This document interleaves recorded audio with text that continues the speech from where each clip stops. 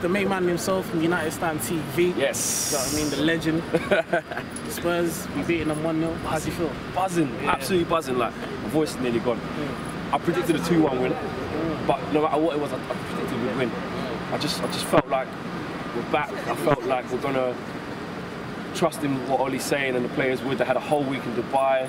The feeling, I just had the feeling that we were that we were gonna get the win. There's a lot of positivity am- amongst the, what, the players and Yeah. the club and the fans at the moment. Mm.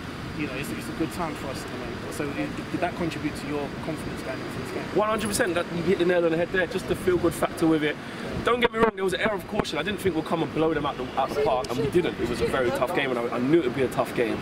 Um, but I, I actually did say before the game as well, though, because I was asking a lot of fans, is this a must-win game or a must-not-lose game? For me, it was a must-not-lose. You know, I would have taken a draw. I said that before the game. If someone would have offered me that before the game, I would have taken it. Um, in the circumstances, because there's a long way to go. Obviously, you always want to win. Yeah, and, like I said, that I was kind of, to, to be fair, I was kind of contradicting myself. I said I would take a draw, but I was predicting a win. Yeah, Do you know what I'm saying? yeah, But I was like, but that was me saying worst case. though, Do you know what? I'm saying? Yeah, It's the worst case scenario. I just didn't think we'll come here and lose today. You know, and, and we haven't. What what what not surprising? What impressed me most is that. We had to have a lot of level of um, containment today. You know, solid at the back. We, you know, our pressing was good. When they got into our final third, a lot of their shots were blocked, especially in the first half.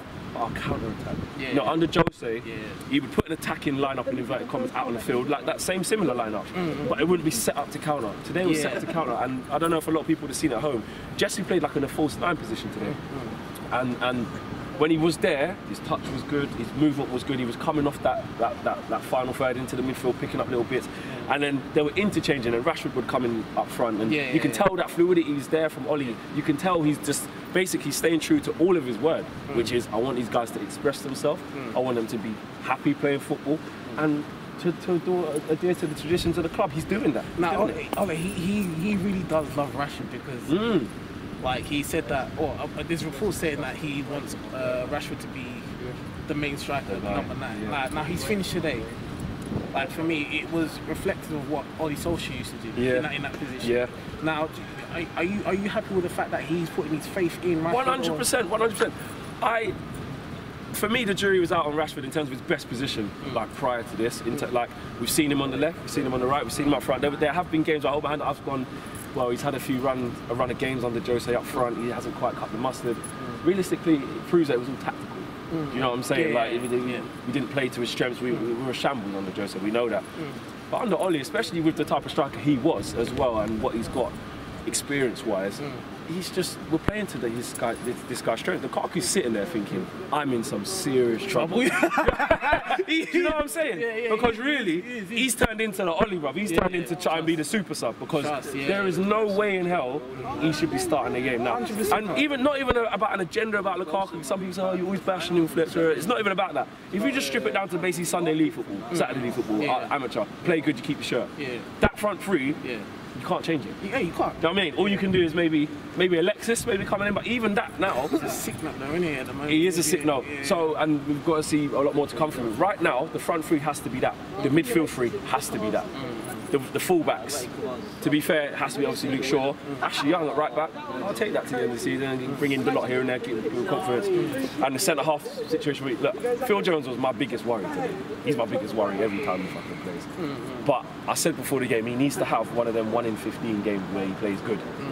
And he did. But he, he's always prone to a mistake. Always, That's- probably. I'm not saying I want him to stay in that Yeah, position. yeah, I'm just saying he needed to have a good game today, and he did. Mm. Lindelof cemented his feet. Yeah, oh, He's- 100%. He, he, has. He's, he's he's been like that all season. To be fair to him, but you know, you look how he's.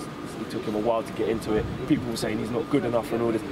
Look now, you know what I'm saying? He's got confidence. So for me, the other centre half position, because obviously Smalling will still be Smalling. He's better than Jones, but even he's got, you know. So you're looking at Bailly. I don't know what's going on there.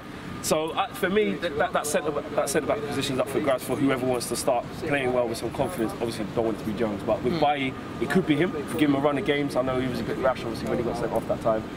Because he, I think he, him and Lindelof would be formidable, and it was all whether in January we go and get maybe a Koulibaly or Fernando or something. Now, what, what do you want from this season? Obviously, we're still in the Champions League. What, It's a tough game against PSG. Yeah, yeah. Obviously, you'll be in Paris. So Yeah. We'll the paddy. Yeah, yeah, I'll be there. I'll Man. try and get that in, Yeah, if I can. Yeah, yeah. Um, obviously, we're still in the FA Cup, Yeah, but we've got top four to think about to try and get in the Champions League next season, uh, Yeah. unless we win the Champions League Mm. in itself. Mm. Would you want us to, to, to prioritise?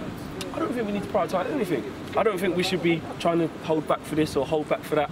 I think, and I I don't think Ole will do that because, again, he's been talking so much about Man United with this, with that. This is how we play. This is the du- What I love about him is we have a duty to. Yeah, do you know yeah, what I'm yeah, saying? yeah, we have to We do have to, this yeah. because we are Man United. He always keeps going back to it.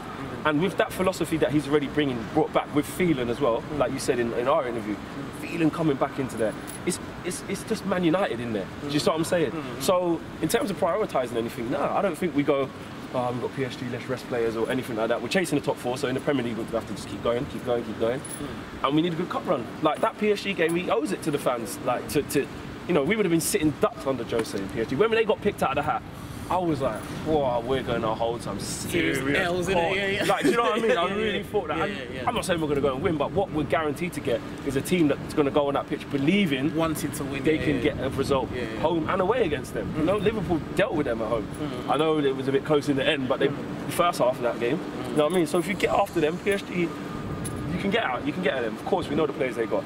But in terms back to your question, prioritising, nah, don't, don't prioritise anything. Game by game, keep taking every game like it's our cup final hmm. and attack the shit out of people. And that's what we do. Ole Solskjaer. You know what I mean? Solskjaer, it's the guy, it's the guy. But yeah, that was that, that was Flex United Stand TV, my guy. Come You know on, what I man. mean, Love what you're doing. home well, and man. away, home and away.